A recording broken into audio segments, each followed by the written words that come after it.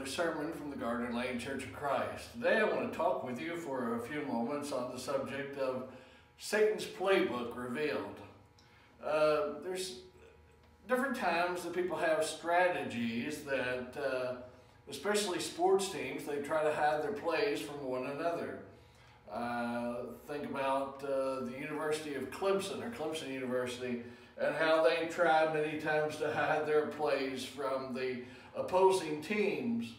Or in a baseball situation where many times they have uh, they have different signs. One might be to touch your nose, and that might be to steal, or to touch the bill of your cap, and it might be to bunt, or to tug on your ear, and that might be a, a steal or a double steal. But there's different times that people have different signs. We understand as well that uh, wouldn't it be interesting if we knew Satan's playbook? I remember the story of uh, General Patton in the movie uh, where General Patton, he said, uh, General Rommel, he said, I've read your book. Or the idea is that I've read your playbook. Well, what we see here is Satan's playbook. In 1 Peter chapter 5 and in verse 8, he says, Be sober, be vigilant, because your adversary the devil walks about like a roaring lion, seeking someone whom he may devour. In Ephesians chapter 6 and verse 10, in the latter part of that, it says we're fighting against forces and authorities, against rulers of darkness and the powers of this spiritual world. In 1 Corinthians chapter 9 and verse 24, he says, Do you not know that those who run a race all run, but one receives the prize? I run in such a way that you may obtain it. Well, what's God's plan for us? Well, in its capsule form, in Matthew chapter 22 and in verse 36, it says, Teacher, which is the greatest commandment in the law? Jesus said to him, verse 37, You shall love the Lord your God with all your heart, with all your soul, with all your mind. This is the first and the great commandment. And if this was true in the Old Testament, then they were pleasing to God. If this is true in the New Testament, then people are pleasing to God because they're loving God with all their heart, with all their soul, with all their mind. The second's like it, you shall love your neighbor as yourself. On these two commandments hang all the law and the prophets. So you shall love the Lord your God with all your heart and soul and mind. How would one counter God's plan? If we were able to see, if we were able to see Satan's playbook, how would he counter that? Well, one is to destroy our love for God to hide God from us, to hide his love, to hide his nature, to hide his plan. In Romans chapter 1, verse 18, it says, For the wrath of God is revealed from heaven against all ungodliness and unrighteousness of men, who by their unrighteousness suppress the truth. We hear a lot about that today. Every four years, we hear about people talking about suppressing the vote, whether it's Republicans or Democrats or whoever it is. They're always talking about people that are suppressing the vote. Well, here we see people that are suppressing the truth. For what can be known about God is plain to them because God has shown it to them. His inv invisible attributes, namely his eternal power and divine nature, have been truly perceived ever since the creation of the world, and the things have been made, so they're without excuse. Maybe it's that you preach tolerance for sin.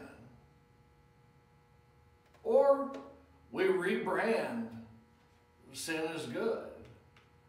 In 1 John chapter 2 and in verse 3, he says in verse 5, But whoever keeps his word, the love of God is perfected in him. By this we know that we are in him. In James chapter 4 and in verse 4, he says, Adulterers and adulteresses, do you not know the friendship of the world is enmity with God? Whoever therefore wants to be a friend of the world makes himself an enemy of God. We see God and his plan We see parents in Colossians chapter 3 and in verse 20, children obey your parents and everything. For this pleases the Lord. In Exodus chapter 20 and in verse 12, honor your father and your mother, that the days may be long in the land that the Lord your God is giving you. But also, uh, there's a lot of people that have a problem with rejecting authority concerning the government. In Romans chapter 13 and verse 1, it says, Let every person be subject to governing authorities. For there is no authority except from God, and those that exist have been instituted by God. Therefore, whoever resists the authorities resists what God has appointed, and those who resist will incur judgment. Says in verse 3 For the rulers are not a terror to good conduct, but to bad. Would you have no fear of the one who is in authority? Then do what is good, and you'll receive his approval, for he is God's servant for your good. If you do wrong, be afraid, for he does not bear the sword in vain. For he is the servant of God, an avenger who carries out God's wrath on the wrongdoer.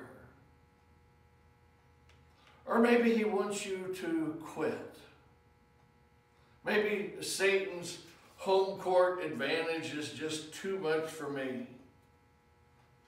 This is a this is a road game for us, if we can use that analogy.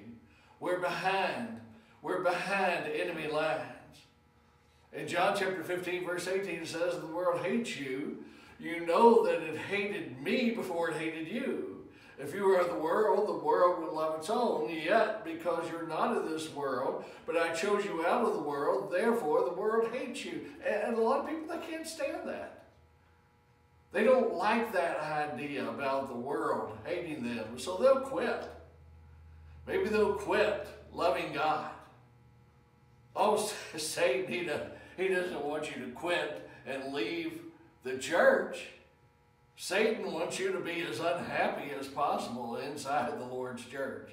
Satan wants you to cause as much division within the Lord's church as you can. Satan wants you to complain all the time about everything to other people so that they will quit loving God as well. That is Satan's playbook. How can I follow God with so many things broken in this world?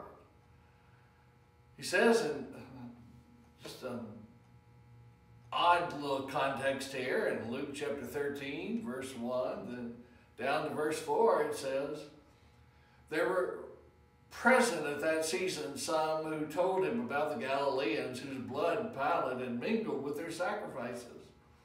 And Jesus answered and said unto them, Do you suppose these Galileans were worse sinners than all the other Galileans because they suffered such things? I tell you, unless you repent, you shall all likewise perish. And the eighteen on whom the tower of Siloam fell and killed them, do you think that they were worse sinners than all the other men who dwelt in Jerusalem? I tell you no, but unless you repent, you will all likewise perish the idea is that tragedies are going to occur in life. People are going to die. People are going to die of accidents. People are going to die of cancer. People are going to die of the coronavirus. But at the same time, people need to focus on repenting, repenting of their sins. There are even people on, we would use the term maybe God's team that really are not doing what they should be doing. In 2 Corinthians chapter 11, verse 13, it says, But such are false prophets, deceitful workers, transforming them into the apostles of Christ. And no wonder, for Satan himself transforms himself into an angel of light. Therefore, it is no great thing if his ministers also transform themselves into ministers of righteousness and those whose end will be according to their works. Well, our time is up for today. Uh, thank you for tuning in to another sermon from the Gardiner Lane Church of Christ. And until next week, we bid you a very pleasant good day.